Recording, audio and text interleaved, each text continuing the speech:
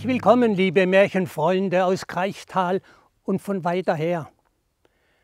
Heute beenden wir unseren Märchenkreis, den wir bereits letztes Jahr begonnen haben.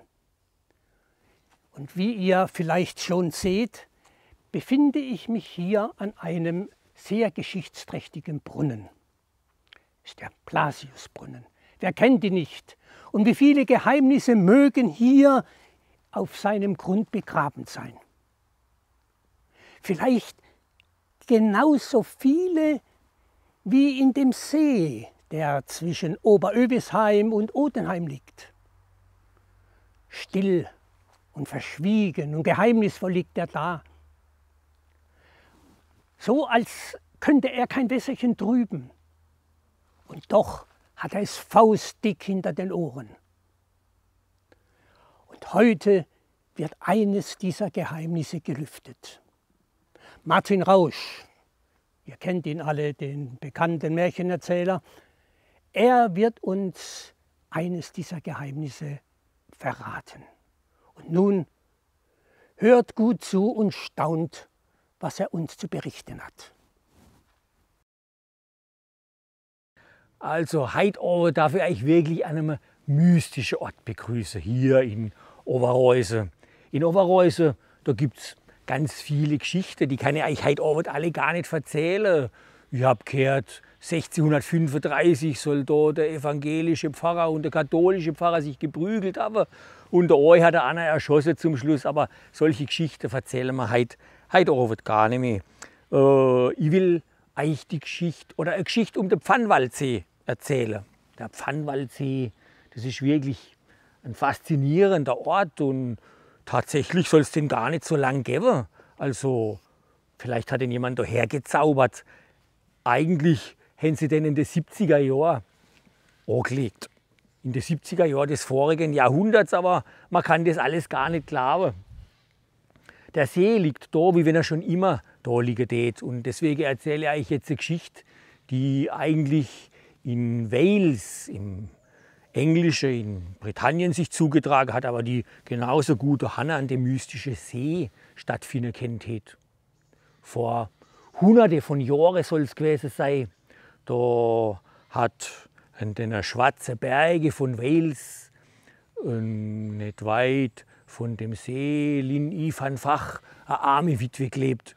Mit ihrem einzigsten Sohn, Gwyn genannt der Helle.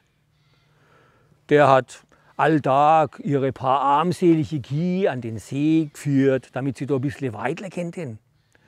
Und an einem schönen Abend, da sieht er auf einmal ein wunderhübsches Mädle an dem See sitzen, die sich ihre Haare gestrählt hat.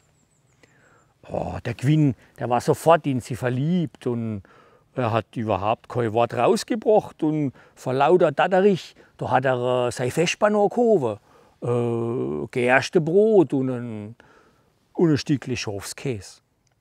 Das Mädle, das hat gelacht und hat gemeint, ach du, mit deinem trockenen Brot, dich will ich nicht.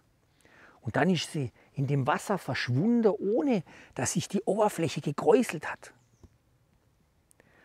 Der Quinn, der hat gedenkt, dass das wahrscheinlich eine andersweltliche ist, aber das hat seiner Liebe keinen Abbruch gedu. Und er ist heimgegangen und hat die ganze Sache seiner Mutter erzählt.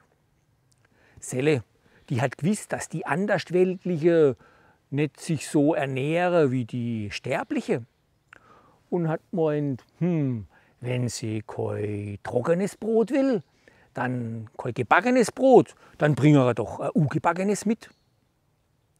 Am nächsten Morgen ist der Gewinn schon ganz früh unterwegs gewesen. Es war noch finster. Eigentlich war es noch Nacht. Und als er an den See gekommen ist, da war nichts. Er wart und wart, aber das Mädle hat sich nicht blicken gelassen. Endlich, gegen Mittag, da hat sich die Wasseroberfläche gekräuselt, da war sie wieder. Die war noch schöner wie im letzten Mal. Er hat wieder kein Wort rausgebracht, ist bloß da gestanden und hat sie angeguckt und endlich, da hat er sich getraut und ist mit seinem ungebackenen Brot zu ihr. Selle, die hat wieder gelacht und hat bloß gemeint, ach du, mit deinem feichten Brot, dich will ich nicht. Und dann ist sie wieder in dem See verschwunden. Daheim erzählt er seine Mutter wieder von der Geschichte und Selle meint, gebackenes Brot mag sie nicht, ungebackenes Brot mag sie nicht, dann nehmen wir doch halbgebackenes mit. Am nächsten Morgen da ist der Gewinn wieder ganz früh losgezogen, die Sterne sind noch am Himmel gestanden. Und als er an den See kommt, da war die Oberfläche ganz glatt und von dem Mädle keine Spur weit und breit. Er hat gewartet und gewartet. Es hat angefangen zu regnen. Es hat wieder aufgehört. Es ist Mittag geworden. Das Mädle ist nicht beigekommen. Erst gegen Abend, als der Mond schon am Himmel gestanden ist, da war sie wieder. Die war noch schöner wie beim letzten Mal. Und beinahe hätte er wieder vergessen, warum das er gekommen ist, aber endlich, da fasst er sich ihr Herz und ist mit dem halb gebackenen Brot auf sie zugegangen und hat sie gefragt, ob sie seine Frau wäre will. Selle, die lächelt Ohr und sagt, ja, aber ich muss erst meinen Vater fragen. Und dann ist sie wieder in dem See abgetaucht, ohne dass es Welle geschlagen hätte oder Luftblase aufgestiegen wäre. Der Quinn, der steht eine ganze Weile in dem Ufer und guckt rein und wartet und wartet. Der Mond ist dann hell am Abendhimmel gestanden. Auf einmal, da ist ein weißbärtiger Greis aus dem Wasser aufgetaucht, ein Wassermann. Sein Bart, der war voller, voller grüner Alge und sein Haar. Und hinter ihm, da steigen zwei Mädchen aus dem Wasser die sich bis aufs Haar geglichen hätten. Das war, wie wenn sich die geliebte Nell verdoppelt hätte. Der Alte ist auf der Queen zugegangen und hat gemeint, du willst eine meiner Töchter zur Frau nehmen? Ich bin einverstanden, wenn du mir sagen kannst, welches das das ist, die du so liebst. Verzweifelt hat Gwyn die Mädel angeguckt, die Ohren die Lichter andere wie einem andere. Da hat er gesehen, wie die eine ihren Fuß vorstellt und er erkennt sie dort dran, wie ihre Sandalen geschnürt waren. Da geht er mit festem Schritt auf sie zu und hat sie bei der Hand genommen. Da meint der Wassermann, du hast die richtige gewählt. Du darfst sie heiraten, aber bloß unter einer Bedingung. Du darfst sie niemals grundlos schlagen oder tadeln. Er will mir meine Hand abhacken, hatte Quinn gerufen. Aller gut, meinte der Wassermann, dann will ich euch als Mitgift so viel Tiere, Schafe, Ziege, Kühe und Pferde geben, wie Nell Färchen eurem Atemzug aufsagen kann. Das Mädle, das hat einen langen Atem gehabt.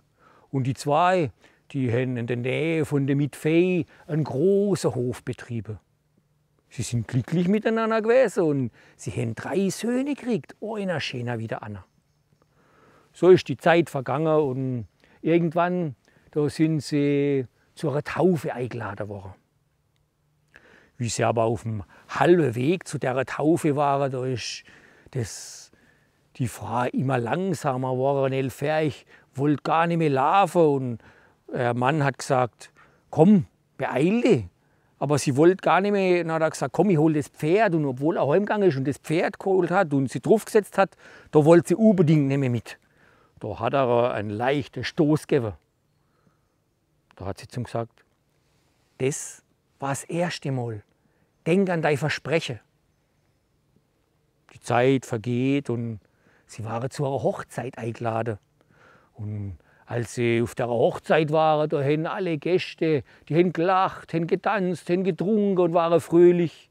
Aber Nell Ferch, die ist immer trauriger geworden und auf einmal, da hat sie angefangen bitterlich zu weinen. Da gibt der Quinn einen harten Klaps und sagt, was ist denn los mit dir? Benimm dich doch. Da war das Mädchen traurig und meint zu ihm, das war schon der zweite Schlag. Denk an dein Versprechen. Nach ein paar Jahren, da waren sie auf einer Beerdigung. Und mitten in der Trauerfeier, da hat Nell Ferch auf einmal angefangen, schallen zu lachen. Da hat er den Gewinn einen harten Schlag gegeben. Aber er hat es schon bereut, aber es war zu spät. Nell Ferch ist aufgestanden, ist heim in den Hof gelaufen, hat alle Tiere zusammengerufen und alle Tiere sind er hinten nachgefolgt, an den See und haben sich mit ins Wasser gestürzt. Selbst das kleine schwarze Kalb, das schon beim Metzger am Haken gehangen ist, ist runtergesprungen und ist ihnen nachgegangen. Und auch die vier Ochsen, die mit dem schweren Pflug auf dem Feld unterwegs waren, die eine tiefe Furche bis an den See gezogen, die kann man heute noch sehen. Quinn, der Helle, der konnte ohne seine Frau nicht leben und aus lauter Verzweiflung da hat er sich in die kalte Flut gestürzt. Die drei Söhne, die sind noch tagelang am Ufer unterwegs gewesen und haben verzweifelt nach ihrer Mutter gesucht. Da ist ihnen noch einmal erschienen und hat meint, ihr, die ihr so viel Leid ertragen müsst habt, ihr sollt jetzt das Leid der anderen Menschen lindern. Und sie hat sie mitgenommen ins Gebirge, in ein Tal, wo ganz viele Medizinpflanzen und Heilpflanzen wachsen. Pandimedigon, sagt man da dazu. Und sie zeigt ihnen die Heilpflanze und all ihre Wirkung und erweist sie dort drin. So sind die drei zu den berühmtesten Ärzten von Wales geworden. Und ihr Ruf, der ist bis zu uns ins Badische gedrungen. Ihr müsst wissen, die Elfen, die können nicht so leben wie die normalen Menschen. Die fürchten sich vor dem Weihwasser. Deswegen konnten sie nicht mit zur Taufe gehen.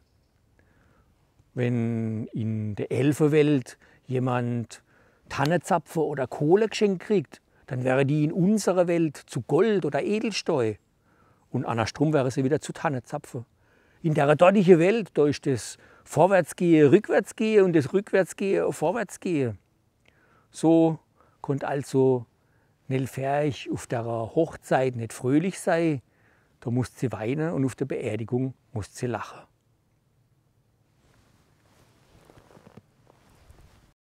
Heute geht es jetzt von Hanna aus nach Neuenbürg oder Neuberg, wie man Hanna sagt. Und obwohl Neuberg so klar ist, da drehen sich doch ganz viele Geschichten da um diesen Ort und sind da drin passiert.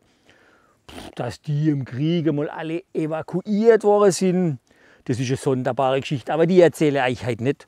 Obwohl, wo die wieder daheim waren, da haben die sogar Freilichtspiele dort abgehalten, die Neuberger. Unglaublich so ein kleiner Ort und so ein paar Leute, aber die haben was auf die Füße gestellt. Oder die Geschichte mit dem buckligen Amtmännle. Das soll damals von einem Grenzsteuer erschlagen worden sein und heute noch in der Gegend rumspucken. Die Leute haben sich gefürchtet und sogar eine Frau hat ein Kreuz aufgestellt, damit es endlich wieder Ruhe gibt. Aber der Norbert Begle, der nimmt euch jetzt noch mit in die St. Lukaskirche. Das war mal ein Schloss und das ist eigentlich der Schlossturm, nein Quatsch, der Kirchturm. Der ist eigentlich noch von dem Schloss oder von der Burg, die wo damals gestanden ist. Aber das müsst ihr euch alles selber gucken. Und der Norbert erzählt euch jetzt einmal eine Geschichte zu.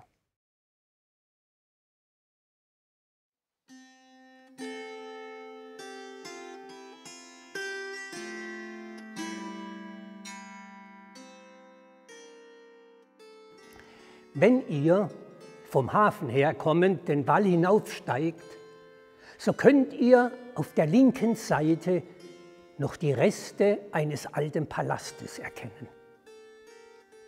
Hier lebte einst ein Edelmann des Königs, Don Ephisio mit Namen.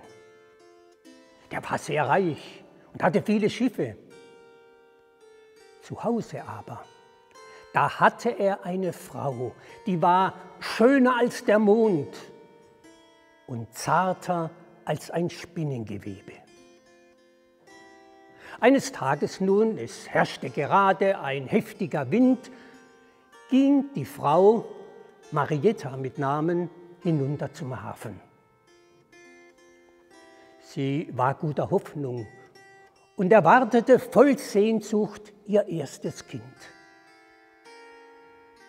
Auf einmal, da wurde der Sturm immer stärker und gewaltige Wassermassen trieben zum Hafen hin und plötzlich, da schlug eine Welle so gewaltig gegen die Mauer, dass das Wasser über die Mauer spritzte und die arme Marietta völlig durchnässt wurde. Zugleich aber sah sie, dass der Sturm ein Stück Holz oder so etwas Ähnliches vor ihre Füße getrieben hatte. Und als sie es aufhob, da bemerkte sie, dass es ein Bild der heiligen Jungfrau Maria war, dass der Sturm wohl aus einer Bildquelle herausgerissen und das Wasser vor ihre Füße geschwemmt hatte. Sie hob es auf, wischte es sorgfältig trocken und trug es nach Hause. Bald darauf bekam sie ein kleines Mädchen. Das war so hübsch und so zart, wie es die Welt selten gesehen hatte. Dann Ephysio und seine Frau freuten sich sehr, hüteten es wie ihren Augapfel und gaben ihm den Namen Marieflor. Doch in dem Maße, wie das Mädchen heranwuchs und von Tag zu Tag schöner wurde, in dem Maße erkrankte seine Mutter mehr und mehr. Geduldig ertrug sie alle ihre Leiden und Schmerzen und versuchte sie vor ihrem Mann und vor ihrer Tochter geheim zu halten. Aber sie wurde immer bleicher und schwächer und kein Arzt konnte ihr helfen. Eines Tages nun, als wieder einmal ein heftiger Sturm durch die Gassen der Stadt tobte, rief Marie, Marietta ihre Tochter zu sich und sprach, Mein liebes Kind, es ist an der Zeit, dass ich eine weite Reise antrete, zu der ich dich leider nicht mitnehmen kann. Aber dein Vater wird bei dir bleiben. Und wenn auch er einmal verreisen muss, so lasse ich dir dieses Bild hier. Es ist das Kostbarste, das ich besitze. Bewahre es gut auf, und wenn du einmal in Not kommst, so wende dich vertrauensvoll an die Jungfrau Maria. Sie wird dir helfen. Dann schloss sie die Augen für immer. Don Ephysio und Mariflor lebten lange Zeit in großer Trauer. Endlich kam es dem Edelmann in den Sinn, dass es für seine Tochter doch wohl gut sei, wenn sie wieder eine Mutter habe und Geschwister zum Spielen. Und so heiratete er eine Witwe, die schon einen Sohn und eine Tochter hatte. Die neue Gattin war zunächst recht freundlich gegenüber Marie Flor und der Edelmann glaubte schon, eine gute Wahl getroffen zu haben. Da kam der Befehl des Königs und er musste sich einschiffen und mit dem König an einem Kriegszug teilnehmen.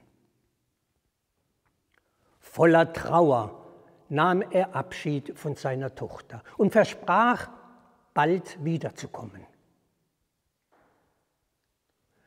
Kaum aber war der Gatte aus dem Haus, da begann die Stiefmutter ihr wahres Gesicht zu zeigen. Sie zankte mit dem Mädchen, wo immer sie nur konnte, puffte und schlug sie.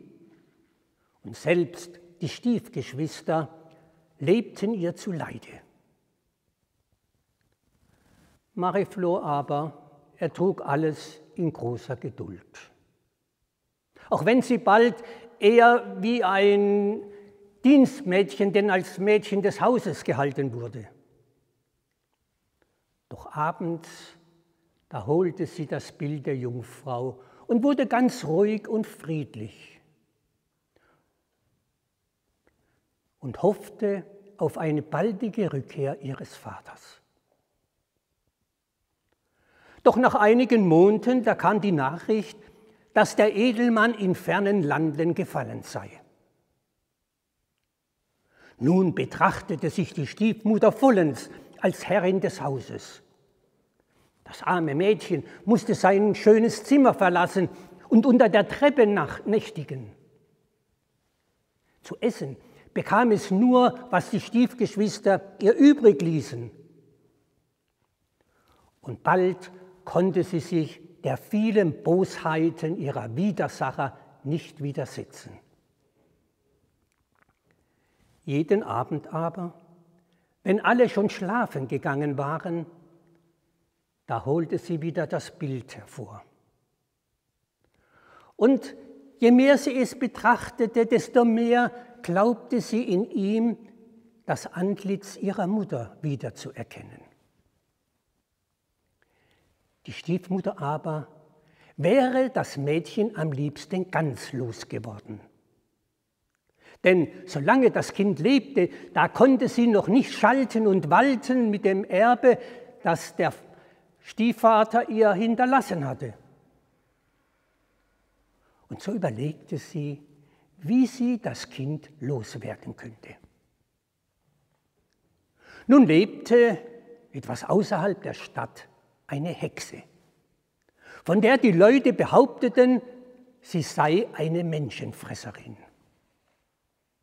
Niemand wagte sich zu ihr hinaus, und wenn sie in die Stadt kam, um auf dem Markt einzukaufen, da schlossen die Mütter ihre Kinder in den Häusern ein, weil sie Angst hatten, die Hexe würde sie entführen und auffressen. Eines Tages nun, als die Stiefmutter hörte, dass die Hexe in der Stadt sei, da schickte sie auch Mariflor in die Stadt, um auf dem Markt einzukaufen und hoffte, sie würde nicht wiederkommen. Doch das Mädchen kehrte unbeschadet wieder zurück. Und so oft sie es auch versuchte, immer wieder kehrte Mariflor unbeschadet zurück. Eines Tages nun sprach sie zu dem Mädchen, du bist nun schon groß und es wird Zeit, dass du etwas lernst. Ich habe mit der Frau auf dem Markt gesprochen, die du schon kennengelernt hast. Sie ist bereit, dich etwas zu lehren. Pack deine Sachen und geh zu ihr. Und komm mir ja nicht wieder, bevor du nicht nähen, sticken und stricken kannst. Was blieb Mariflor anderes übrig, als ihre Sachen in einen Korb zu packen und sich auf den Weg zur Hexe zu machen? Doch wie erschrak sie, als sie vor dem Haus der Hexe stand. Da stand über dem Eingang in einer Nische ein Totenkopf. Der grinste sie hämisch an und klapperte mit dem Gebiss und rief, wer die Mager nicht ehrt, ist die Fette nicht wert. Halt deinen Mund, kam es da aus dem Haus, und lass das Mädchen herein. Da öffnete sich die Tür und Mariflor ging zitternd hinein. Die Hexe saß gerade am Kamin und verspeiste ein großes Stück Menschenfleisch. Was willst du hier? fragte sie. Man schickt mich, damit du mich nähen, sticken und stricken lehrst. Es wäre mir lieber gewesen, wenn deine Stiefmutter deine Geschwister geschickt hätte. Aber da, da du nun einmal da bist, so magst du bleiben. Aber du musst wissen, du musst auch für mich arbeiten, wenn du etwas lernen willst. Marie-Flor beteuerte, dass sie arbeiten gewohnt sei. Und so zeigte die Hexe ihr die Kammer, wo sie schlafen konnte. Am nächsten Morgen kam die Hexe zu ihr und sagte, ich gehe jetzt fort. Bis ich zum Abend wiederkomme, halte das Haus sauber und koche mir zum Abend ein Abendessen. Und wenn du fertig bist, dann geh in den Garten und gieße ihn so, dass alles grünt und blüht. Marie-Flor machte sich also an die Arbeit. Sie putzte das Haus, richtete das Essen. Doch als sie in den Garten ging, da fiel sie vor Schreck fast um, denn alles war steinig und trocken, kein einzig grünes Gräslein war zu sehen. Wie sollte sie da in wenigen Stunden alles zum Grünen und Blühen bringen? In ihrer Not ging sie in die Kammer, holte das Bild hervor und sprach, Heilige Mutter Maria, hilf, ich bin verloren, was soll ich tun? Das Bild aber sprach, fürchte dich nicht. Ich werde dir helfen, hab keine Angst. Tu nur, was ich dir sage. Zuerst nimm deine Schürze und bedecke damit den Kopf des Totenschädels. Dann geh in die Küche und richte das Abendessen weiter. Und wenn du fertig bist, nimm die Schürze wieder an dich. Doch sage der Hexe nichts davon. Das Übrige lass nur mich machen. Mariflor tat, wie sie geheißen. Sie bedeckte den Totenschädel mit ihrer Schürze, da verging jenem das Grinsen. Dann ging sie in die Küche, bereitete das Essen und holte ihre Schürze wieder zurück. Doch als sie in den Garten trat, da glaubte sie zu träumen. Sie meinte ihren Augen nicht glauben zu können, denn alles grünte und blühte. Da wuchsen Blumen, Beeren, Gemüse, alles in den schönsten Farben. Bald darauf kam auch die Hexe zurück und eilte sogleich in den Garten.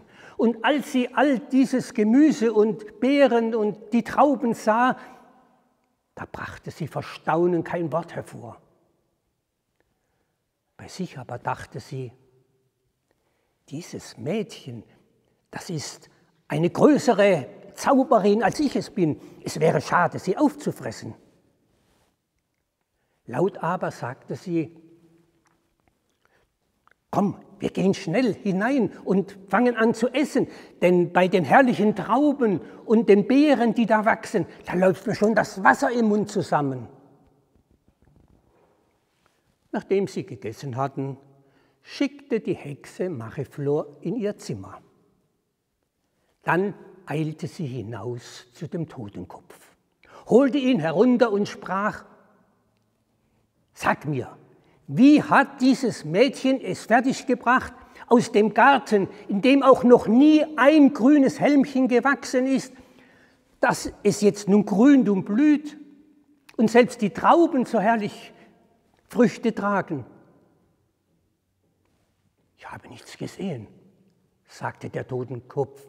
Sie hat ihren, ihre Schürze über mich gezogen, sodass sie nichts sehen konnte. Ach du Dummkopf, rief die Hexe erschrocken und wütend. Ich frage mich, warum ich dich unter dem Galgen ausgegraben habe. Nächstes Mal passt du besser auf. Und wütend ging sie in ihr Haus und konnte die ganze Nacht vor lauter Ärger kein Auge zutun. Am nächsten Morgen aber sprach sie zu Mariflor, nun liegt es an mir, dich etwas zu lehren. Setze dich neben mich und pass gut auf. Und ich will dir zeigen, wie du wie sieben Schneider nähen kannst. Mariflor setzte sich neben die Hexe und gab gut Acht. Und am Abend, da konnte sie so schnell und gut nähen, wie die Hexe selbst. Am nächsten Morgen aber sprach die Hexe zu ihr, nun musst du mir wieder dienen. Putze das Haus, dass ich kein Stäubchen finde. Richte mir das Essen. Dann geh auf den Speicher. Dort liegen mehrere Zentner Getreide durcheinander. Ordne die Körner nach ihrer Art. Dann ging sie davon. Mariflor machte sich an die Arbeit. Sie putzte das Haus und bereitete das Essen. Doch wenn sie an ihre Aufgabe auf dem Speicher dachte, da wurde er ganz schlecht dabei und sie wusste nicht, wie sie es anstellen sollte. So ging sie wieder in ihre Kammer, holte das Bild hervor und sprach, Heilige Jungfrau Maria, hilf, ich bin sonst verloren, was soll ich tun? Und die Jungfrau Maria sprach, da du keine Mutter mehr hast, so will ich für dich sorgen wie eine Mutter. Tu nur, was ich dir sage. Nimm deine Schürze wieder und binde sie fest über den Totenkopf. Dann geh in die Küche und bereite das Essen. Und wenn du fertig bist, nimmst du die Schürze wieder an dich. Das Übrige lass nur mich tun. Marie-Flor tat, wie die Jungfrau Maria ihr gesagt hatte. Und als sie fertig war und die Hexe zu gewohnter Zeit zurückkam, da gingen sie gemeinsam hinauf zum Speicher. Und die Hexe traute ihren Augen nicht, denn da lagen alle Körner genau nach den einzelnen Arten sortiert. Sie war aber sehr neugierig und wollte wissen, wie Mareflor dies angestellt hatte. Und so sagte sie, das hast du gut gemacht. Doch sage mir, wie hast du das nur angestellt? Wer viel redet, der irrt auch viel, sagte Marie-Fleur nur. Ja, ich weiß, das ist ein altes Sprichwort, aber ich bekomme schon noch heraus, wie du das gemacht hast. Nach dem Abendessen schickte sie Marie-Fleur noch früher als sonst in ihre Kammer eilte hinaus zum Totenkopf, holte ihn herunter und sagte, nun, hast du heute besser aufgepasst als gestern? Ich konnte nichts sehen, sagte der Totenkopf. Sie hat ihre Schürze so fest über mich gezogen, dass ich sie nicht abschütteln konnte. Ach, du Dummkopf, du taugst auch zu gar nichts. Du bekommst heute auch kein Blut zum Trinken und wütend ging sie wieder zurück in ihr Haus. Am nächsten Morgen sprach sie zu Mariflor, nun bin ich wieder an der Reihe, dich etwas zu lehren. Setze dich neben mich und gib fein Acht. Ich lehre dich das Sticken, dass du schöner und schneller sticken kannst als am Hof des Königs. Mariflor gab fein Acht. Und am Abend, da konnte sie noch schöner sticken als am Hof des Königs. Am nächsten Morgen nun, da sprach die Hexe, mir ist heute Morgen mein Kopftuch ins Wasser gefallen und noch ganz nass, aber draußen scheint die Sonne so heiß, ich kann ohne Tuch nicht hinaus. Leih mir deine Schürze. Und nun pass gut auf, was du zu tun hast. Putze das Haus, dass ich kein Stäubchen finde. Und bereite mir ein Essen. Ich habe heute Lust auf gebratene Hühnchen. Hier sind zwei rohe Eier. Schau zu, wie du daraus zwei gebratene Hühnchen bekommst. So sprach die Hexe und ging davon. Mariflor aber machte sich wieder an die Arbeit. Sie putzte das Haus, doch als sie an die zwei Eier und Hühnchen dachte, da war sie wieder völlig ratlos. Und in ihrer Not ging sie wieder in ihre Kammer, holte das Bild hervor und sprach, Heilige Mutter Maria, hilf mir, was soll ich tun? Und die Jungfrau Maria sprach, Fürchte dich nicht, Tu nur, was ich dir sage. Zieh deinen Rock aus. Hänge ihn in der Küche innen ans Küchenfenster. Dann nimm den Korb mit dem Bild und trage ihn in die Küche. Mariflor tat, wie sie geheißen, trug den Korb mit der Jungfrau Maria im Bild in die Küche. Die stieg aus dem Bild heraus und kochte selbst das Abendessen. Und als alles fertig war, stieg sie wieder in das Bild und Mariflor trug sie zurück in ihre Kammer. An diesem Abend kam die Hexe noch früher als sonst nach Hause und eilte sogleich in die Küche. Ja, und da stand auf dem Tisch ein Teller mit zwei so herrlich gebratenen Hühnchen, dass ihr das Wasser im Mund zusammenlief.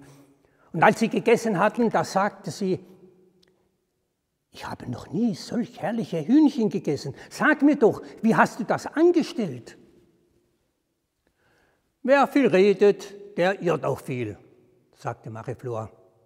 Ach du immer mit deinen Sprüchen, aber ich bekomme es schon noch heraus. Und sie schickte sie wieder in ihre Kammer ging hinaus zum Totenkopf und sagte, na, hast du heute hoffentlich besser aufgepasst? Wie hat das Mädchen das angestellt? Tut mir leid, sagte der Totenkopf. Ich konnte nichts sehen. Sie hat das Küchenfenster mit ihrem Rock verhängt. Ach, du Dummkopf! rief die Hexe, du bist auch zu nichts zu taugen. Und sie packte ihn und warf ihn in die Abfallgrube. Am nächsten Morgen sprach sie zu Mareflor, nun ist es wieder an mir, dich etwas zu lehren. Setze dich neben mich und pass gut auf. Und ich zeige dir, wie man strickt, schöner als die Königin. Und Mariflor gab gut Acht. Und am Abend, da konnte sie genauso gut stricken und sticken und nähen wie am Hof des Königs. Am nächsten Morgen aber machte es die Hexe besonders schlau.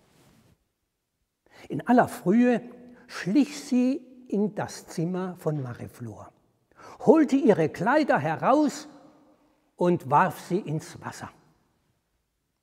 Und als Mariflor aufstehen wollte, da sagte sie, ich habe deine Kleider genommen, sie waren schmutzig, ich werde sie heute Abend waschen bis dahin kannst du ja auch ohne die Kleider im Haus putzen und mein Essen richten. Hier hast du noch einmal zwei Eier. Heute Abend möchte ich zwei gebratene Hähnchen haben. Dann ging sie fort. Mariflor dachte, sie ginge fort, aber in Wirklichkeit, da versteckte sie sich im Garten und wartete, was geschehen würde. Mariflor aber machte sich wieder an die Arbeit. Sie putzte das Haus, doch mit den zwei Eiern und dem Hühnchen wusste sie wieder nicht. Und so ging sie in ihre Kammer, holte das Bild hervor und sprach, Heilige Mutter Maria, hilf mir noch einmal. Und die Jungfrau Maria sprach, du hast nun nichts mehr, womit du das Fenster abdunkeln kannst. Aber hab keine Angst, ich selbst werde dafür sorgen, dass niemand etwas sieht. Trage mich nur im Korb in die Küche. Mariflor tat, wie sie geheißen. Und als die Hexe sah, wie sie mit dem Korb in die Küche ging, da lachte sie für sich und dachte, oh, jetzt bekomme ich heraus, wie sie das anstellt. Und schlich sich vorsichtig zum Küchenfenster. Doch wie sie hineinschaute, da waren ihre Augen plötzlich wie blind. Und wenn sie wegschaute, da konnte sie wieder alles klar sehen. Schaute sie wieder zurück, dann war wieder alles blind und vernebelt. Ich werde es aber trotzdem herausbekommen, sprach die Hexe zu sich und versteckte sich wieder hinter dem Busch. Am Abend aber tat sie, als käme sie von einer weiten Reise zurück und rief, Hier, mein Kind, schau, was ich dir mitgebracht habe. Garn aus Gold und feinster Seide und Wolle, so schön wie nur Wolle sein kann. Hol schnell deinen Korb, damit wir alles hineinlegen und es nicht schmutzig wird. Ihr könnt euch vorstellen, wie Mareflor sich da freute, als sie hörte, dass das Ganze ihr gehören sollte. Sie eilte in ihre Kammer, holte den Korb und tat alles hinein. Da sagte die Hexe, und jetzt, hier, ich habe Durst, hol mir noch aus dem Brunnen einen Krug mit Wasser. Mareflor nahm den Krug und eilte zum Brunnen. Unterdessen aber fing die Hexe an, in dem Korb zu wühlen und zu suchen, was da drin war. Doch als sie das Bild berührte, da sagte dieses, rühr mich nicht an und lass das Mädchen in Ruhe.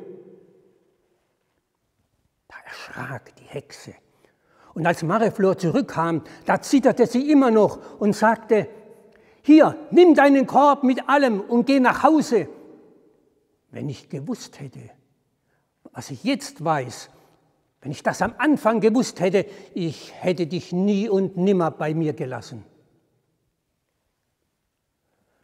Mareflor aber eilte frohen Schrittes wieder ihrer Heimat zu und brauchte die ganze Nacht, bis sie endlich bei ihrem Vaterhaus ankam.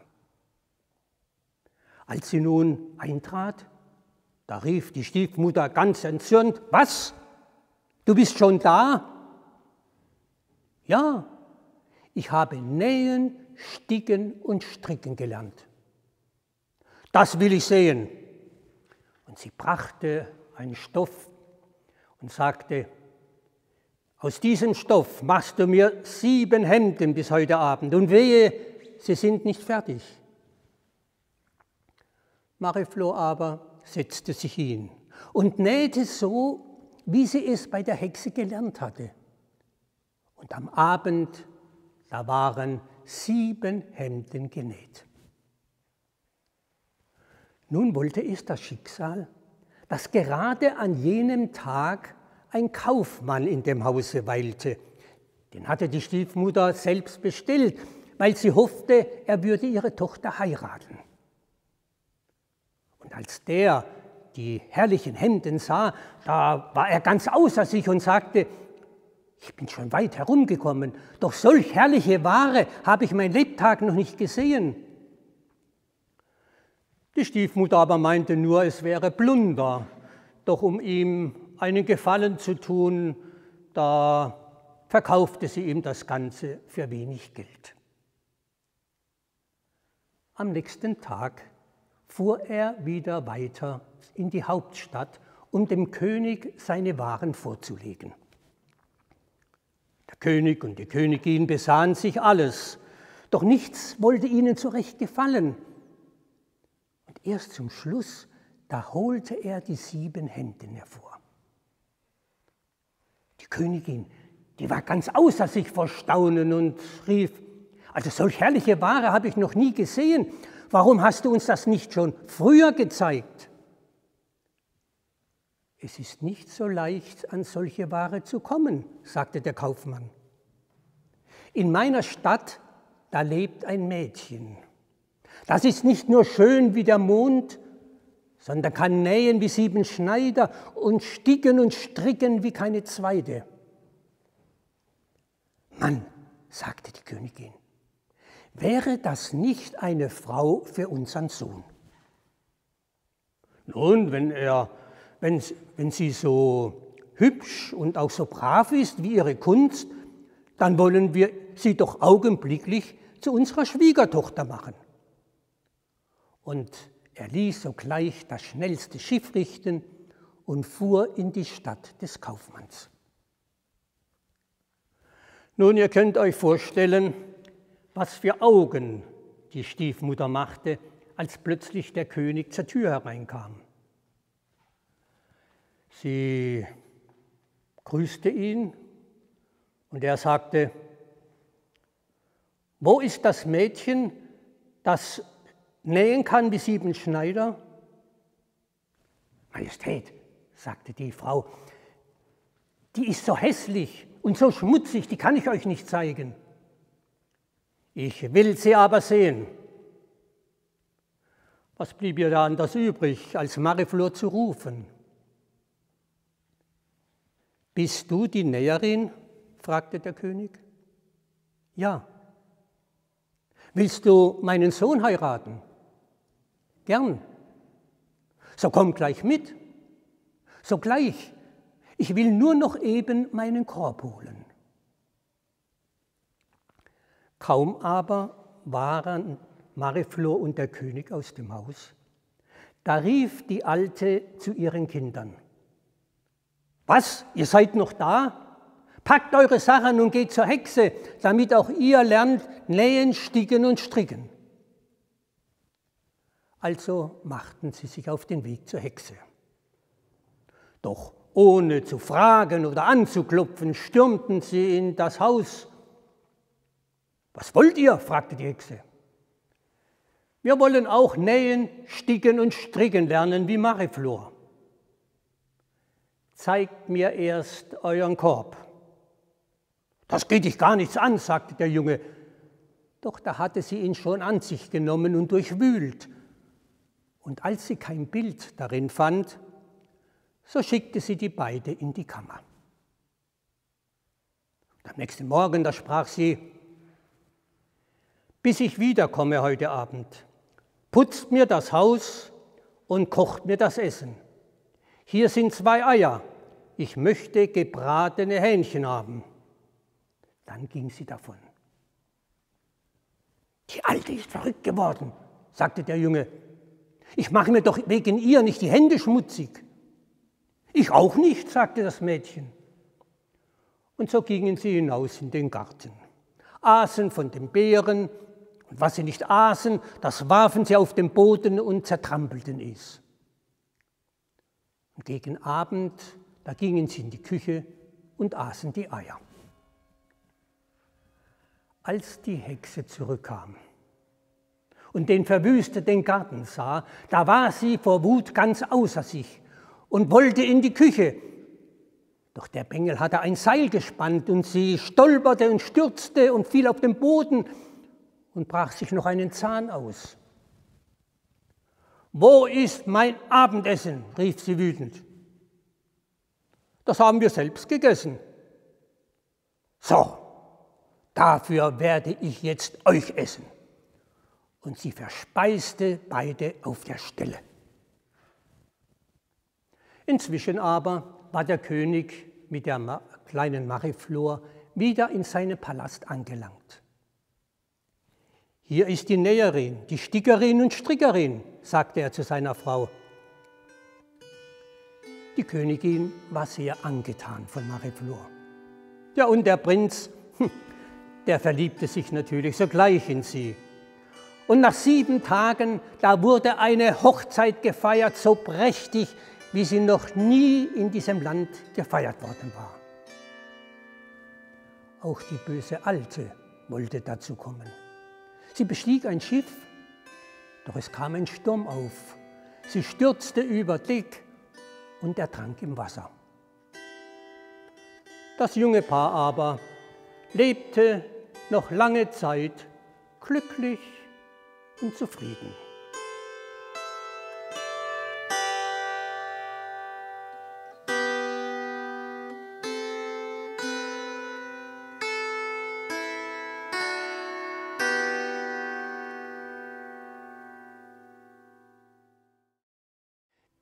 Zwei Märchen, wie sie unterschiedlicher kaum sein können. Und doch spiegeln sie die ganze Facette unseres Lebens wider. Freude und Leid, Erfolg und Misserfolg, Liebe und Hass. Und wir hoffen, dass wir mit diesen Märchen euch nicht nur eine kleine Freude gemacht haben, sondern dass ihr auch damit vielleicht ein klein bisschen etwas von der Lebensweisheit, die doch in jedem Märchen steckt, mitbekommen habt. Und für alle, die nun traurig sind, weil wir schon am Ende unseres Märchenkreises angelangt sind, für die kann ich nur Folgendes sagen. Fasst frischen Mut. Spätestens nächstes Jahr zum Weltgeschichtentag im März, da ist es auf Schloss Roxheim wieder, es war einmal.